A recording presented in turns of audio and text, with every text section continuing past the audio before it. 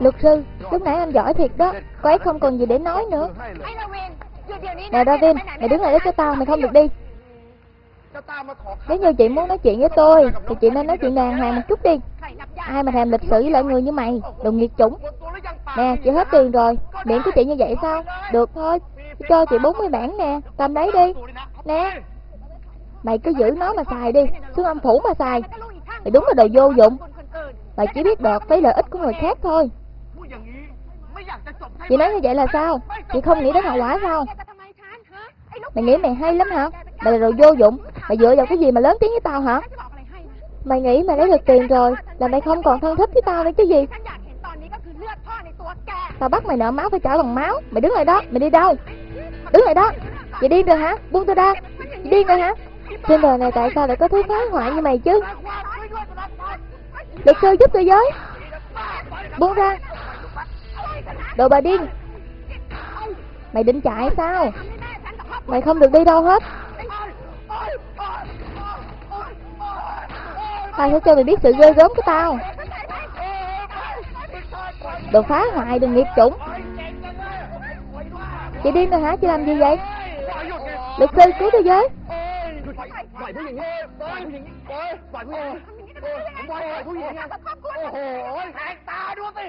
Có cái ยผู้หญิงปล่อยปล่อยผู้หญิงปล่อยผู้หญิงโอ้โหแหกตาดูสิว่าใครอ่ะกำลังจะฆ่าใครอยู่โอ้ยโอ้ยโอ้ยโอ้ยโอ้ยโอ้ย คุณคุณใจเย็นก่อน Cô à mau về nhà thôi Đừng làm như vậy mà cô พอแล้วพอแล้วพอแล้ว Anh mặc kệ tôi đi กลับบ้านแล้ว Đi nào chúng ta đi nào Đứng lại đó Tụi bay đứng lại đó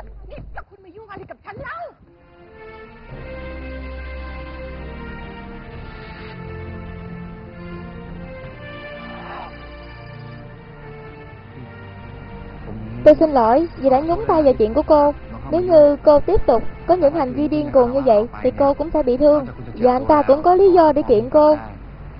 Đến cuối cùng thì người thiệt hại vẫn là cô thôi. Cô vẫn còn nhiều cách để trả thù anh ta mà.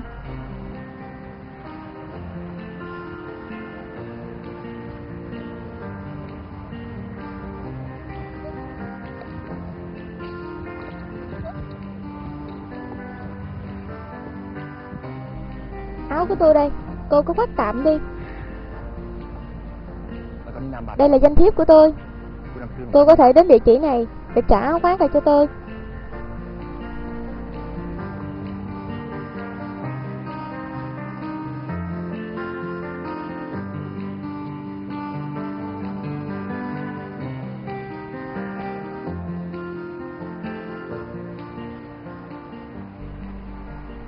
Thu La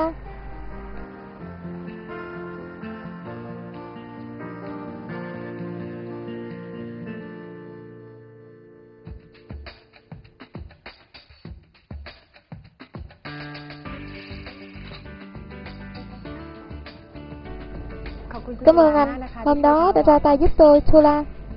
Cứ gọi tôi là Thun được rồi. Dạ được. Cô là... Tôi là Lan Nali. Tên của cô rất đặc biệt. Xem ra cái tên này và tính cách của cô không hề đơn giản. Anh nói gì? À, cô Lan, mời cô vào trong ngồi. Cô không bị thương chứ? À, nếu như tôi muốn ra tòa kiện cái tên nghiệt chủng kia, thì hắn với vợ thường như thế nào cho tôi?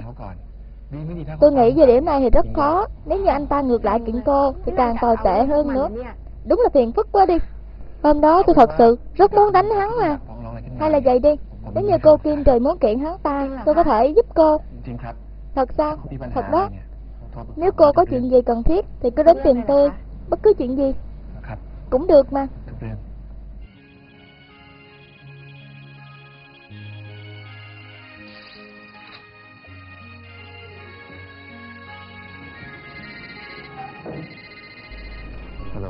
Alo, có chuyện gì vậy?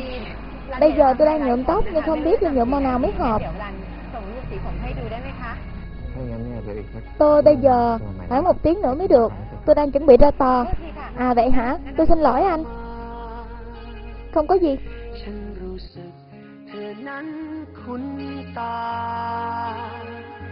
เหมือนบางสิ่งชุดฉันดึงเธอเข้าหา ให้มารัก และรู้ ใจกัน ตั้งแต่เจอเรานั้นคุ้นเคย Alo, anh đang làm gì vậy? Có tiện nói chuyện không? คุยได้ครับไม่ Không sao. แถวไหนนี่ Em đang xếp hàng mua vé nè. คุณจะนั่งตรงไหนดีเลยคุณต้องถาม Em đi đâu mà phải hỏi anh vậy? ฮัลโหล Alo, ทานข้าวยังคะ anh đã dùng cơm trưa chưa? เลย Anh vừa mới ăn cơm trong căng tin nè. อร่อยนะ Vậy hả? Chúc anh ăn ngon miệng nha. ตูน Lan, มีควันออกมาหน้าประตู xe của em bị hư rồi. Lan em bình tĩnh lại đi Đừng lo. Em hãy bình tĩnh lại Bây giờ gọi điện cho xưởng sửa xe đi. Khoan đã khoan đã. Xe của em Nó nằm giữa đường. Mọi người đang bốc đèn lên nổi. Em ngại chết đi được.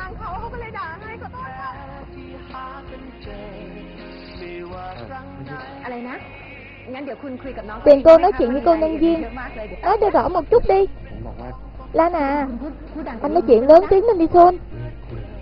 Anh đang ở trong thang máy Không tiện nói chuyện lớn tiếng được đi vậy đi. À, anh hãy đứng sáng vào bên trong. Có được chưa? Nhân viên ở đây nghe được rồi nè. Thôn à, nè, mua cái nào đẹp thôn?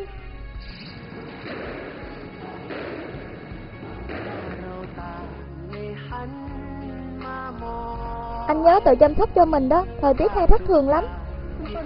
Anh thun, có người đưa cái này cho anh nè. Cảm ơn. Em biết anh không mang theo dù Nên em để lại nói cho anh đó. Lan Anh. Thiên la Hy vọng sau này chúng ta có cơ hội hợp tác nữa. Tôi rất sẵn sàng. Cảm ơn cô. Thôn. Lan. Lan. Em đến đây làm gì vậy Lan? Em đến để mua cà phê chúc mừng anh thắng kiện, Nhưng em nghĩ không cần nữa rồi. Vì có người đã thay anh chúc mừng rồi còn gì. Em nghĩ cà phê này nên đổ đi.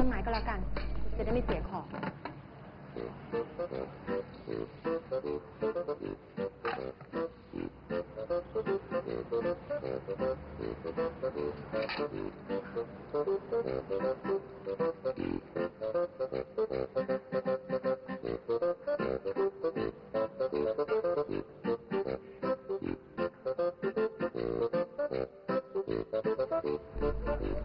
Lan ơi, mày điên rồi hả? Mày đâu có quyền gì mà ghen với người ta chứ.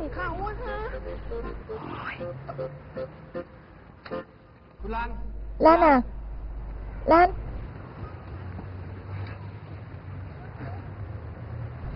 Có phải là em đang giận anh không, Lan? Em đâu có quyền gì mà giận anh chứ. Em đâu có quyền làm như vậy. Vì trong suy nghĩ thực tế, Em không có cái quyền đó mà. Suốt ngày em cứ gọi điện thoại cho anh, Hỏi hết chuyện này đến chuyện kia, Đúng là một chuyện điên khùng nhất trên đời. Anh không nghĩ em gọi điện thoại cho anh là chuyện điên khùng đâu.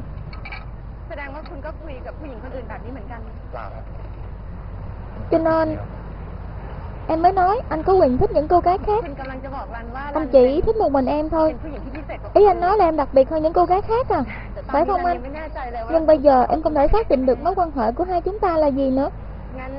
Nếu như em muốn thỏa thuận với anh về vấn đề này thì anh nghĩ thế nào? Anh nghĩ anh có thể đồng ý là bạn trai của em. Vậy bây giờ em có thể xác định được mối quan hệ của hai chúng ta chưa?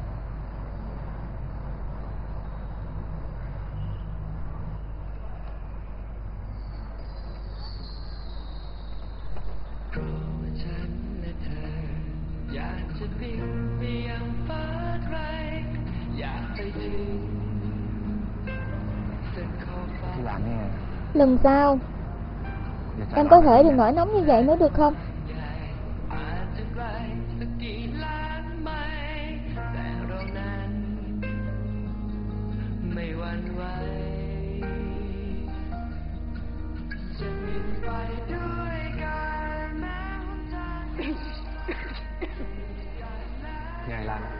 Lan à, em cảm thấy buổi hẹn hò đầu tiên của chúng ta thế nào em?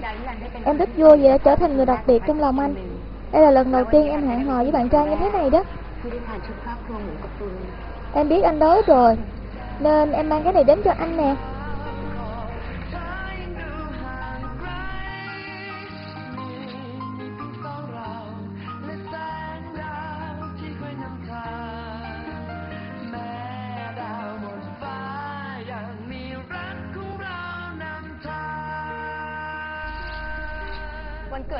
Hôm nay sinh nhật của anh mà tại sao anh lại dẫn em đến đây? Lúc nhỏ, ăn sinh nhật ba mẹ cũng thường dẫn anh đến đây lắm. Bây giờ thì em đã biết tại sao anh không có bạn gái rồi. Là tại sao? Bởi vì anh là một người tốt. Có một số phụ nữ cảm thấy ở bên cạnh những người đàn ông tốt thì không có ý nghĩa gì hết. Nhưng mà em cảm thấy nó không hề buồn chán chút nào. Em thích lắm. Bây giờ em đến bến ba nha.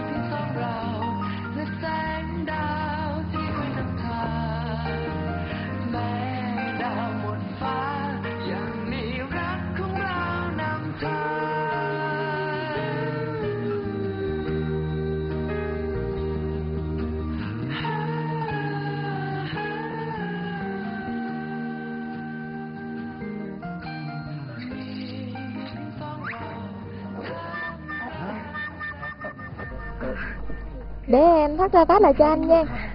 À được rồi. Có đẹp lắm không? Đẹp rồi.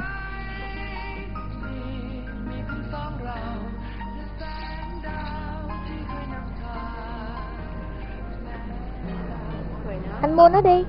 Thôi, không mua đâu. Tại sao? Anh không nỡ mua nó à? Có gì mà không nỡ chứ? Chúng ta qua kia xem những món khác đi. Cảm ơn cô. Anh lái xe cẩn thận nha Son. Tạm biệt em.